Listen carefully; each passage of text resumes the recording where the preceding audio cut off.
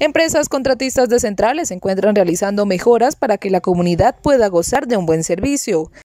Estamos ejecutando el, proceso de reposición de redes, eh, esto para la mejora en la continuidad de la energía y en la calidad de la energía, además para cumplir distancias de seguridad y reponer la postería que se encuentra en obsolescencia. En algunos sectores los servicios de luz e internet se verán interrumpidos mientras las mejoras terminan.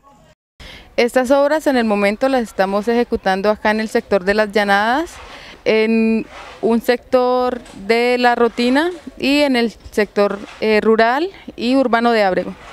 Se recomienda a la comunidad ser pacientes si en sus casas la energía o el servicio de Internet fallan. Estos volverán a la normalidad cuando todos los arreglos y sustitución de postes hayan terminado.